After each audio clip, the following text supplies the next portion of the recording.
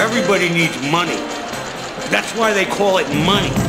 The best things in life are free, but you can give them to the birds and bees. I need money. From Fool Global Headquarters, this is Motley Fool Money. It's the Motley Fool Money Radio Show. I'm Chris Hill, and this week it's our Labor Day weekend special. We hope you're enjoying a little bit of R and R. We are. So if there's any big news in the world of business and investing, I promise we'll get to it next week. But this week, we're talking Costco, one of the world's most successful retailers and a market-beating stock. Earlier this year at our Motley Fool One event in Seattle, Motley Fool CEO Tom Gardner sat down with Costco co-founder and longtime CEO Jim Sinegal in front of a live audience. Even though Sinegal stepped down as CEO a few years ago, he's still very involved in the business. And the conversation began with Sinegal talking about his very first job in retail, working at FedMart when he was just 18 years old. You know, I was a uh, student at uh, San Diego Junior College and uh, sophomore, and was invited. Uh, a friend of mine, it was between Christmas and New Year's, and a new company called FedMart had just started in business in San Diego, and uh, I had a job at that time. I used to get out into the uh, harbor and pick up the laundry early in the morning before school. So I'd work for about three or four hours early in the morning and then go to college. And they got a load of mattresses in at this new business. And a friend, of, a buddy of mine that I went to school with was working there. They'd only been open for about four weeks, and they needed some help putting away the mattresses. And so I went down there. It was a dollar and a quarter an hour, and uh, we put the mattresses away. And at the end of the day, uh, the the guy who was the boss said, "You better come back tomorrow." So I came back the next day, and they still didn't pay me, and I wound up staying there 23 years. Uh, so, so it became was my introduction to uh, the retail business. I thought I wanted to be an attorney. Uh, I had even selected the law school I was going to go to. Uh, they had not selected me at that point, but I had selected them. And uh, I fell in love with the business, and that's how, and I've been in the business ever since then. And so you started. I mean, mo- I would I would guess that most people would have expected that you started Costco at some point in maybe your late twenties or early thirties, but no, you started Costco when you were forty-seven years old. That's correct. And what what preceded that? H- how did you get connected with Sol Price, and what did you learn uh, from Sol that planted some of the seeds for your thinking in developing Costco? Boy, how do I describe Sol Price? I, I mean, just, you know, he was fantastic. He was the smartest man I ever knew in my life. He was also one of the toughest people I ever knew. Uh, uh, and I was, you know, how lucky was I to have him as a mentor over the years? He was fantastic, a great influence in my life. Um, you know, I remained friends with him. Uh, there was a period of time when I was a competitor that we weren't friends for uh, for about seven or eight years, maybe longer. But we remained friends until he died. I had dinner with him just a couple of evenings before he died. So, uh, lifelong relationship. And as I say, how lucky was I to have had that relationship? So, what was the catalyst to strike out on your own and start and start Costco? Well, you know, I suppose when you're a business person, you always think, gee, could I do something myself? You know, do I have the courage to do something myself? Uh, do I have the ability to do something myself? And so uh, that uh, that spirit of being an entrepreneur, I think, probably exists in most of us who are in business. And it was just a matter of time, I think, before it happened and before I got involved in doing that myself. And it, it was scary. Uh, it was meaning giving up some things. Uh, in Lafayette, as an example, it meant moving from San Diego or the San Diego, Southern California area to Seattle, uh, which seemed grim at that time. uh, but, you know, when you look at a day like today, it's not so grim, is it? Uh, so uh, it was, you know, it was wonderful. A lot of a lot of us get locked into things in life that we shouldn't get locked into, and uh, obviously it was a wonderful experience for me, and I was lucky that it happened and it worked out the way it did.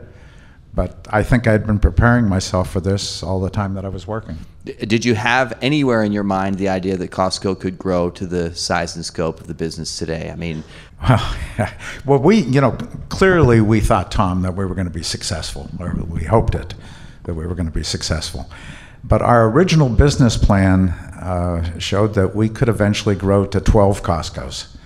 And, and, and that if we averaged about $80 million uh, a unit, that we'd do about a billion dollars and make a nice return for our, customers. And we're going to be a Northwest company. So that was the way we described the business plan. So people ask me all the time, did you ever have any idea that the company would be as, as big and successful? And of course, I haven't been able to find all those original business plans and destroy them. so I have to admit that we had much more modest goals.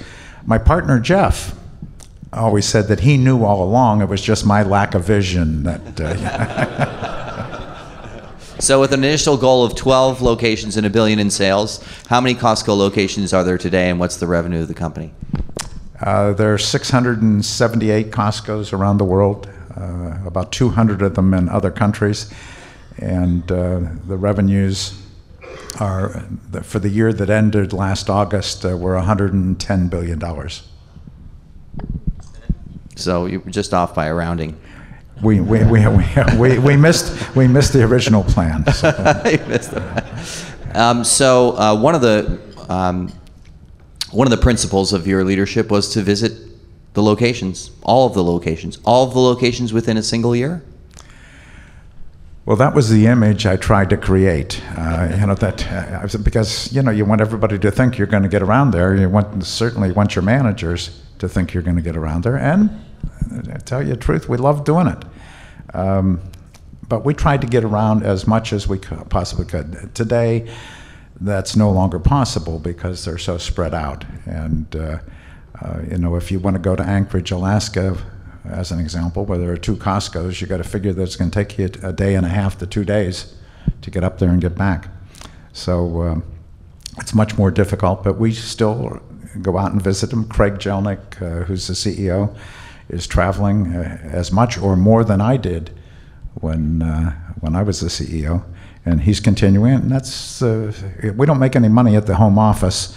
The money's made out there at the Costco's, and we enjoy seeing them. Can you um, explain to us what a store visit, how it would go for you?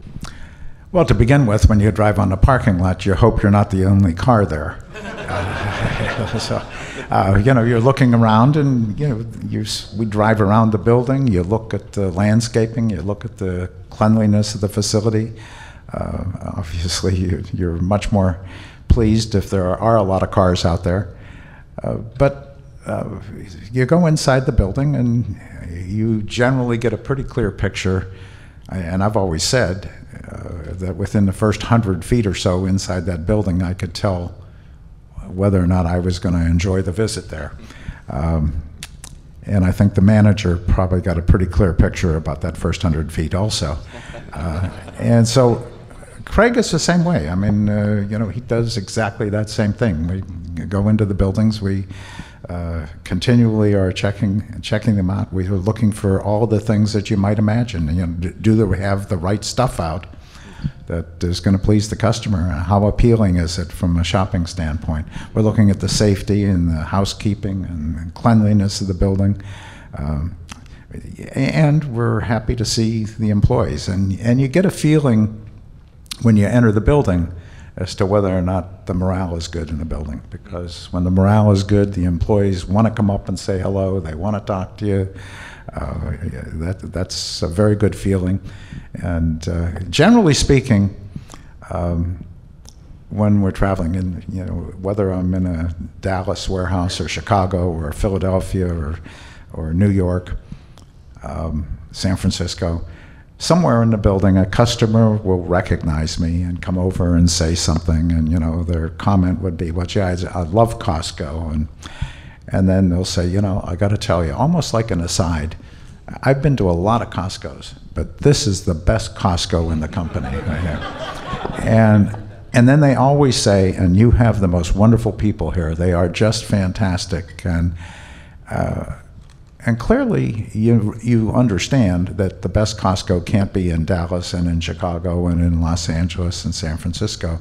That there has to be a consistency, and so you're proud of the people that are taking care of our customers. And and I, I'm not kidding you. That story that I told you is almost scripted from customers who come up and talk to me and to Craig relative to our visits. That they're always pleased with our people. Is it true that Costco has the lowest employee turnover of any large retailer in the world?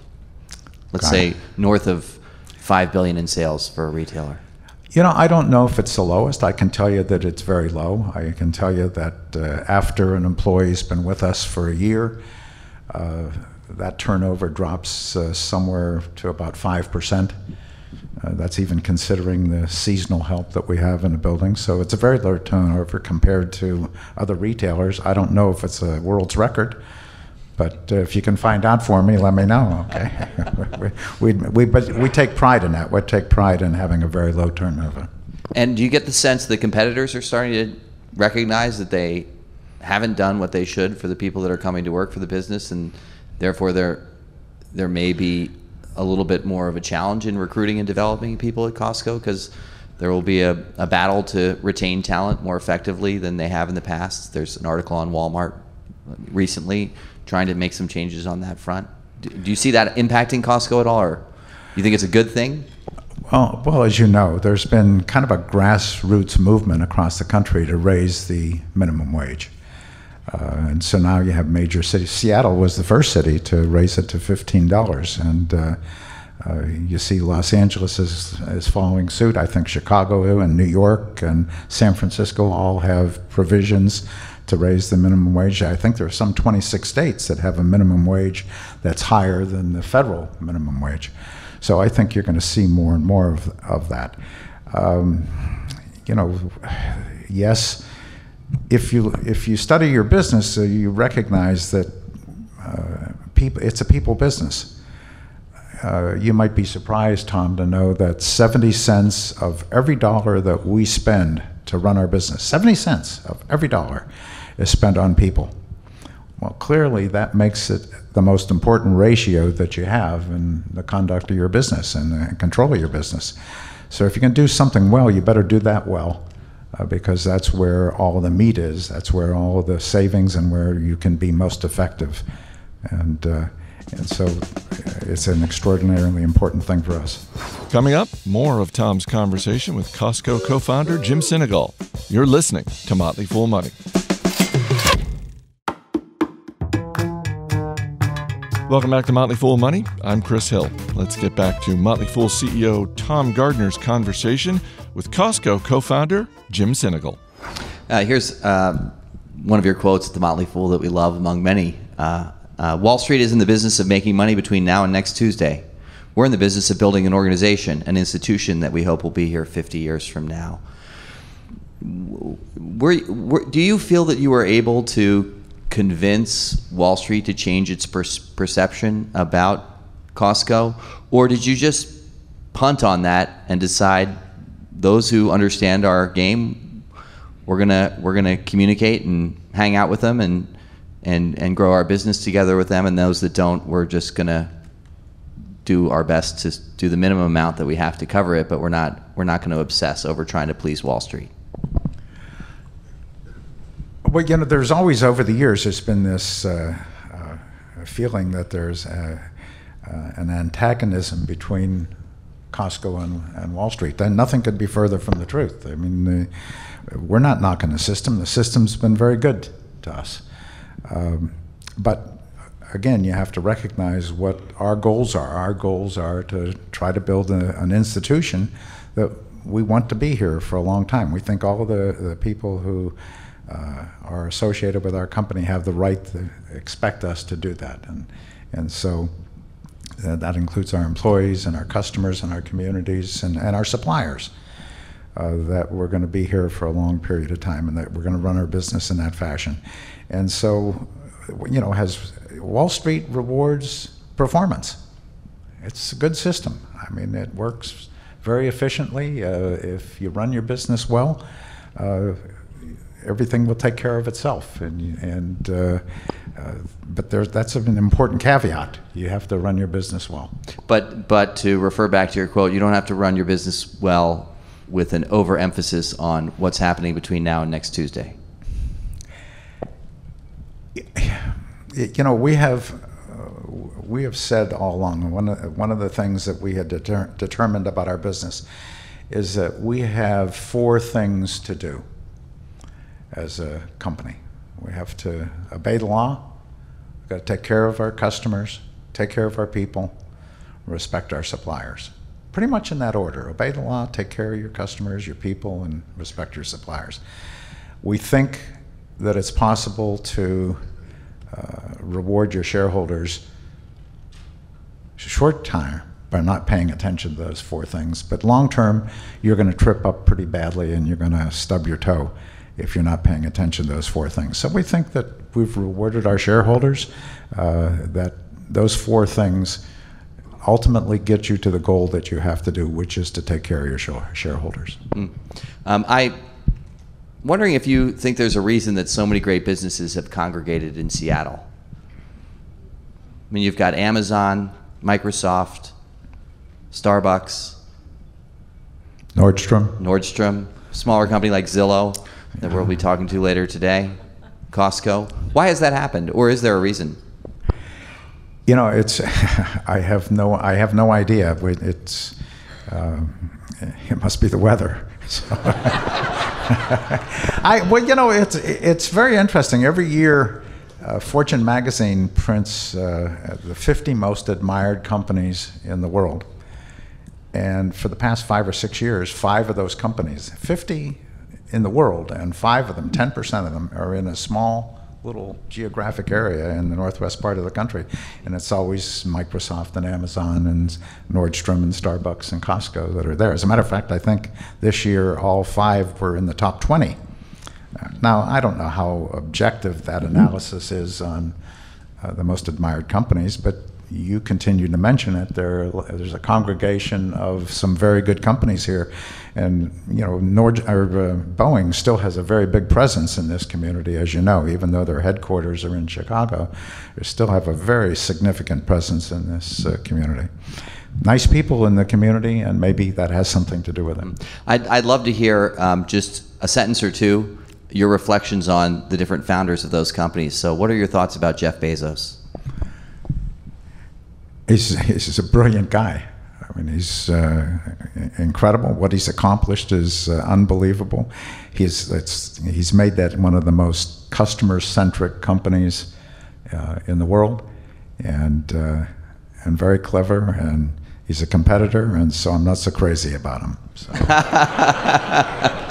and, and he's probably not so crazy about us. How about Bill Gates? Well, you, know, again, brilliant. I mean, this was uh, uh, incredi- incredible what happened. I mean, the, this what happened with the whole thing with uh, computers and software. It's like uh, the another industrial revolution. Uh, it changed the world. It wasn't so long ago in the '80s when everyone was saying the century of America is over and uh, that the U.S. was never going to be on top again, and then you turned around and everything you looked at had Intel and Microsoft inside, uh, and changed the entire world. Coming up, Jim Sinegal weighs in on the competition. Stay right here. You're listening to Motley Fool Money.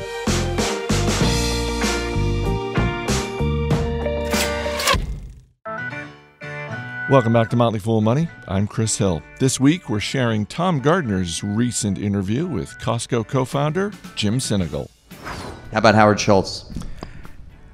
Well, you know, if you were to do, think about this, they started in about 83 or about the same time as Costco. That's when Howard got involved with it.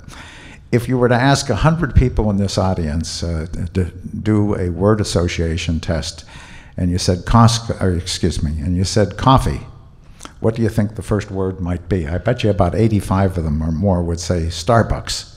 Uh, what a branding story, an incredible branding story that uh, I don't know how many how many of you here stopped and got a coffee at Costco or at uh, Starbucks this morning. That's the way to build the Costco coffee brand right there. or how many of you are going to stop and get a hot dog at Costco? That's a better. but but it, the Starbucks is just a, a wonderful branding story, amazing branding story uh, to have happened in such a short period of time, and it's a worldwide branding story. You mentioned the competition or the competitor that is Amazon, which I, um, so many companies can say, yeah, they compete with us too. So they're they're. But what do you see as the primary competitive threats to Costco now? Mostly they're about internal and running the company. If you keep doing what you're doing, you should be successful. Or there's a big technology shift that's happening, and Costco is going to have to figure that out. You you have to be watching competition continually. I. Uh, competition makes you better. You don't like it so much when it's happening, but in truth, it makes you better. And I have often said over the years that if Sears and Roebuck had had tougher competition in the 50s and 60s, they would be a much better company today than they've turned out to be. Uh, and uh, I hate to knock Sears because nobody's here to defend them, but I clearly we see what has happened to what, a company that was an icon in our country. Um, and they eventually didn't have any real tough competition.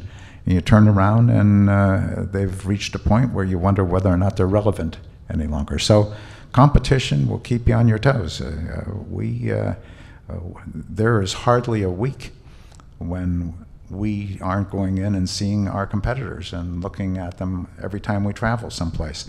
One of the things that uh, I didn't that disappointed me when we merged with the Price Club was that I could no longer go in and shop them and get good ideas. Uh, and, you know, I'm not kidding. I'm, I'm, not kidding. That was a very important thing because we we were uh, not hesitant at all to steal every good idea that we could see from the Price Club or any other competitor that we have, and. Uh, uh and so, didn't Sam Walton say a similar thing about Costco? I think he said something like, "I've stolen most of my great ideas from." Actually, I'd like to use the word borrow. Yeah, he was talking about my old boss, Sol Price. He said, "I've." Uh, I've stolen more ideas uh, from Sol Price, and then he amends it, say, I, I, guess I should use the word borrowed, from Sol Price than any man I've ever known. And uh, uh, that was high, high praise. Uh, one of my factors as an investor is to look very close at who's leading the business. And a moment when I consider selling a stock is, which I do very infrequently, is succession. And if I look at, let's say, the story of Starbucks, the five or six or seven years that Howard Schultz was not running Starbucks were not particularly good ones for the company. Um, when I look at Walmart, it hasn't necessarily been a great performing business to be a shareholder of past Sam Walton's term as leader of that business. So, what do you think you all have gotten right at Costco with Craig and the process that you followed that other businesses might learn from? And do you think I'm overrating succession as an issue when looking at companies in retail or across the board in terms of investing in them for the long term? No, I don't think you're overrating succession. It's uh, it's very important. Now, one of the things that you recognize is that a founder of the business gets a little bit of a pass. Um, not criticized as roundly. Uh, people are, and the street is uh, more readily accepting decisions that are being made. With each succession and each succeeding generation of management, that goes away a little bit. So it's a little tougher for this third and fourth and fifth generation of management to get away with the same things that Sam Walton did. And, and when I say get away, I don't. That's probably partially mean that they they they're given a longer leash and therefore a longer time horizon. The opportunity. I know one of another one of your quotes that we love is, "I try never to make the same mistake five times." And so, so presumably the next round of leadership is they're going. We probably never make the same mistake four times. then it gets down to three, then two. Well, where am I at? How many have I?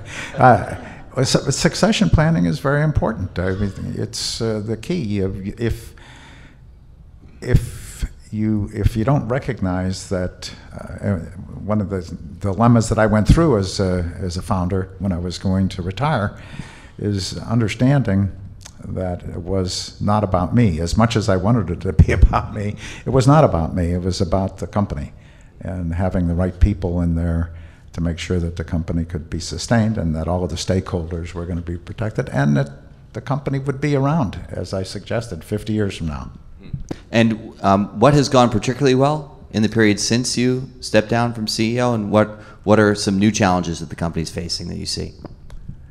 I think things have gone very well. I think the numbers reflect that. Uh, the business is, uh, has been very successful. I uh, do, you know, you're never you're never going to find two people who are going to agree 100% on every item. But I got to say that 99% of the time I agree with uh, everything that Craig is doing. I think he's done a great job.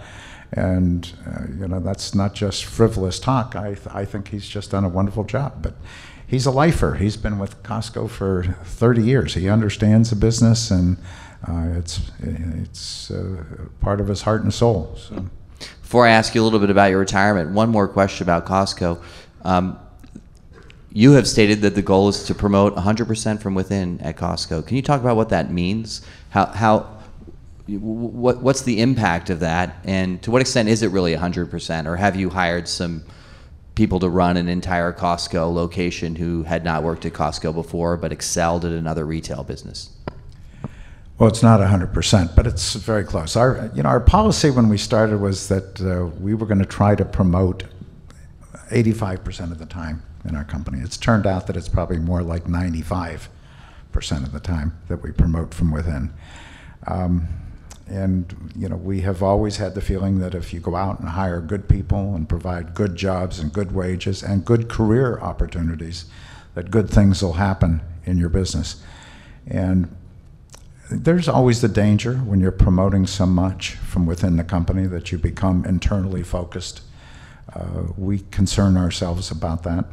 Uh, but we also think it's very important that the culture of our company be maintained and we think that the culture of our company is very difficult to instill in people who just come in from the outside. Uh, we would never dream of hiring a warehouse manager to run one of our businesses from outside. If we hired somebody, even if they'd had a very substantial position someplace else, they'd have to work uh, in our company for at least a year and a half, two years before we put them in charge of uh, Costco. Now, maybe that's a little craziness on our side, but, but it's an important value that we have. Uh, now, also, when you do that, uh, people have, and you can sometimes raise expectations a little higher. People feel if they didn't get the job, it's because of favoritism. And when those instances where we have rarely gone out and hired somebody, uh, you, we, the rejection process sets in pretty clearly and, and fast. So we have to guard against that as well. But we've been pretty successful at doing it, and I think that uh, uh, you know Craig has continued to do and, and improve over the last couple of years. The company continues to be very innovative in the things that they're doing. So I think uh, we're getting the right results from the people. Hmm. How's retirement? What is retirement for you? Oh, retirement is uh, that uh, uh, where I used to go in the office about 7:30 in the morning. I don't go in now until about 8:30. I, am you know, I'm not just kidding. I mean, that's a big deal. so, um, and you know, I still have an office out at uh, Costco because I, I still get a lot of mail. I'm still on the board of uh, of directors. Um, I still visit a Costco every day, uh, including Sundays. Uh, but that's a whole special brand of sickness. Uh, uh, and you know, I have I, I've got a, a, winery that I own with one of my sons down in Napa Valley, and I speak at about 15 universities a year at business schools, and I'm on the board of a couple of business schools at uh, Notre Dame and uh, San Di- Seattle uh, University and San Diego State University. So I got a lot of things going on. We generally shy away from politics at the Motley Fool. We just we just leave that subject outside of the range of a lot of our investment in, out in our community. But you're you're a pretty diehard Democrat, so I'm curious, what do you think about passionate Republicans who are Costco members?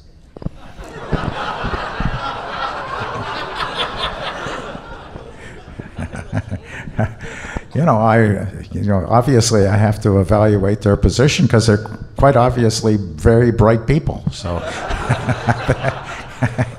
no, I listen.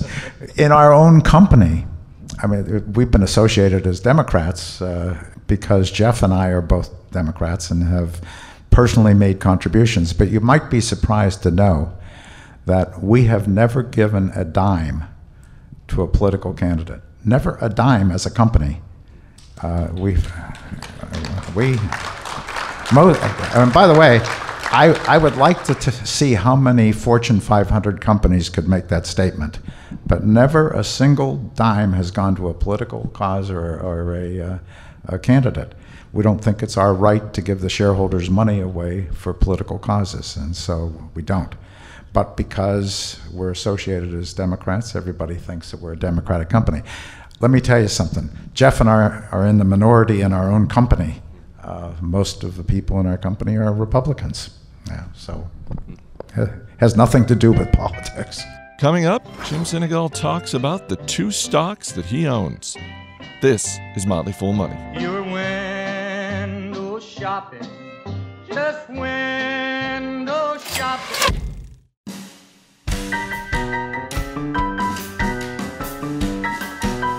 Welcome back to Motley Fool Money. I'm Chris Hill. It's our Labor Day weekend special as we share Tom Gardner's recent interview with Costco co founder Jim Sinegal. I know that you, uh, your other son made a career change recently. Can you talk a little bit about that? I was telling uh, Mac. Mac that story earlier today. One of my sons, uh, Michael, uh, we sent him to Japan. He he and his wife to Japan, uh, and they lived there for 15 years. And they started our Costco business in Japan, and their two daughters were raised in that country. And uh, as you might imagine, uh, uh, he became very fluent in the language, and and so uh, after about 15 years.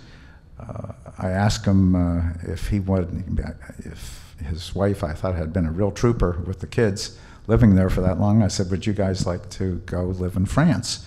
Because we're thinking of opening up in uh, west in the continent in Western Europe."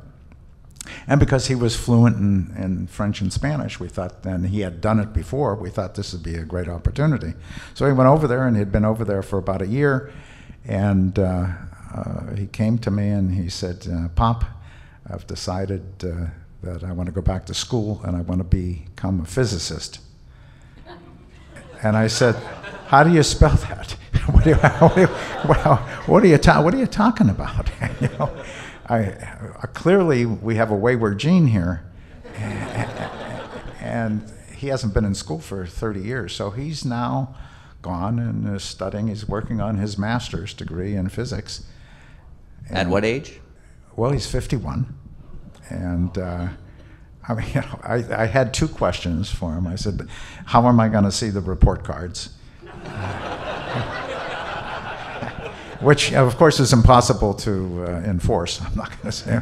And uh, what are you going to do with this? You know, when you know, and he uh, he said that you know, pro- most probably teach.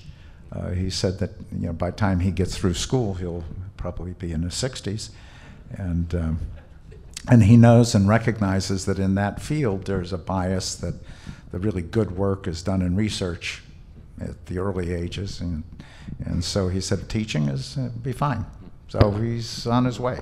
It's funny. My uh, father is uh, 78 years old, and he told me just in his non-statistical evaluation of the lives of his classmates in high school and college that it is those who made a career change if they weren't if they didn't love what they were doing who made a career change around 50 in their early 50s at the latest that had the happiest next tw- 25 years in his observation. For example, there was a partner at a law firm who left and started an ice cream business. And his entire family was like, "What the hell are you thinking?" And the answer is, "I'm going for happiness. I'm going for I'm going for what I'm really interested in, and I may I may not excel or succeed reputationally to the degree that I am here at running a law firm, but it sounds like maybe a similar thing has happened to your son. He's found physics is, is gonna is gonna be his joy. Well, you know, Tom, all of us as parents, and we all say this, but I, I I think most of us mean it too, is we want our kids to be happy.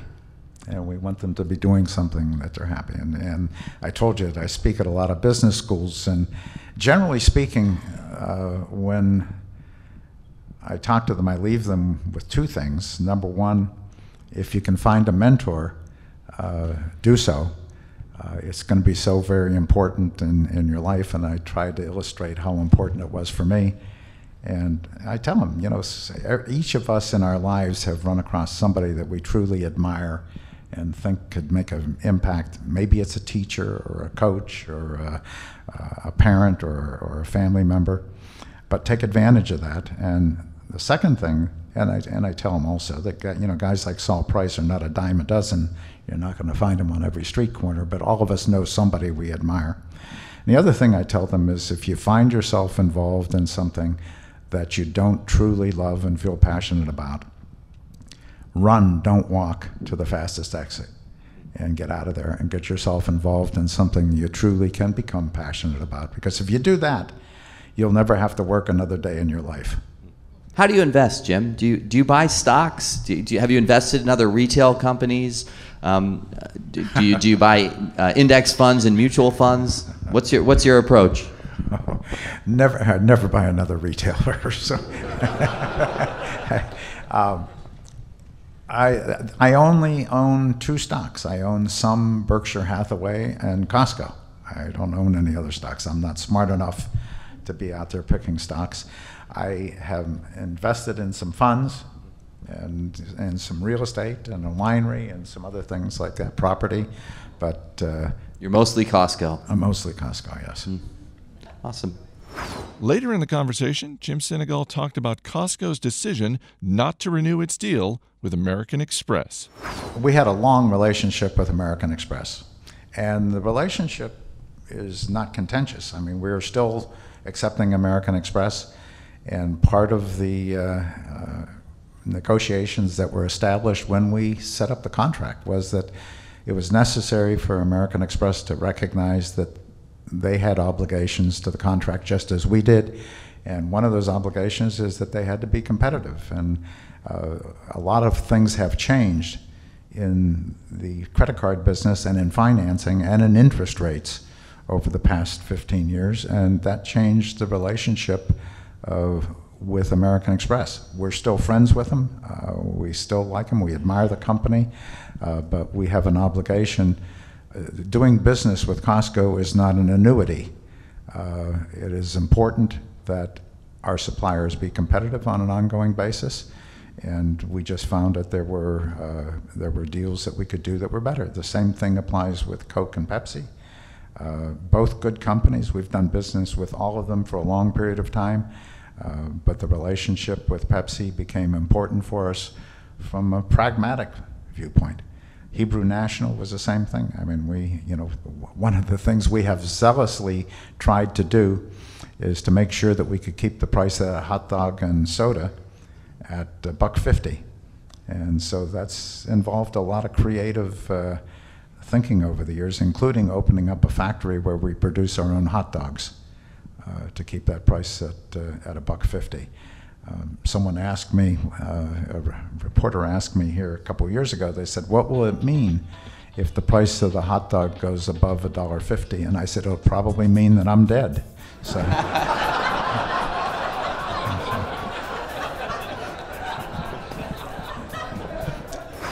So the $1.50 hot dogs at Costco, don't worry, they're not going anywhere.